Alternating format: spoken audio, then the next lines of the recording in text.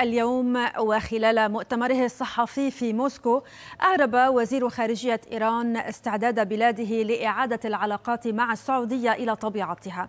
وأكد حسين أمير عبد اللهيان أن طهران تتواصل مع الرياض لإزالة الخلافات القائمة وأن المحادثات معها تسير بشكل بناء ودخلت مرحلة جديدة. لنستمع إلى ما قاله.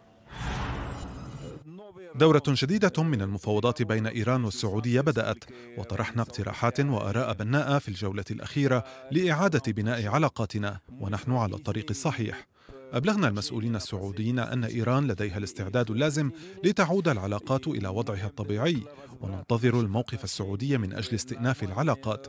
كما نعتقد أن الحوار بين دول المنطقة سيساعد في منع التدخلات الأجنبية.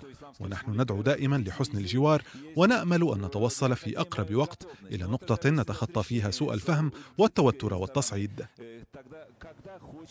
وبالعودة إلى أبعاد الخلافات الإيرانية السعودية والعلاقات الدبلوماسية بين البلدين نرى أنها انقطعت بعد سحب الرياض لأعضاء بعثتها من إيران مطلع العام 2016 على خلفية الهجوم على مقراتها الدبلوماسية واقتحام سفارتها في طهران من قبل محتجين. مؤخرا كشف الجانبان في مناسبات مختلفة عن محادثات جارية لإعادة العلاقات سواء مع الرئيس الإيراني إبراهيم رئيسي الذي أكد في أول مؤتمر صحفي له عقب فوزه في الانتخابات أنه لا عقبات أمام استعادة العلاقات الدبلوماسية مع السعودية أو حتى قبل ذلك من خلال رئاسة سلفه حسن روحاني.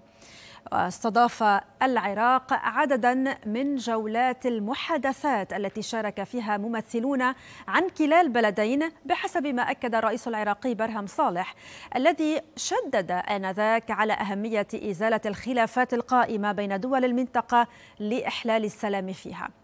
كما كان مؤتمر الحوار الذي استضافته بغداد نهاية أغسطس الماضي فرصة أخرى للتقارب وتبادل وجهات النظر ورشحت تصريحات وصفت بالإيجابية عن كبار المشاركين في أعماله.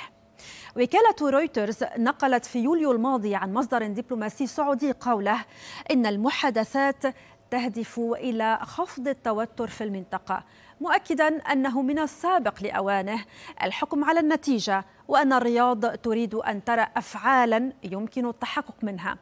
وقبل يومين أكد المتحدث باسم وزارة الخارجية الإيرانية سعيد خطيب زادة أن المحادثات مع الرياض قائمة على أفضل حال وأن الجهود مستمرة لبدء علاقات مستديمة وفي أطر يرضى بها الطرفان.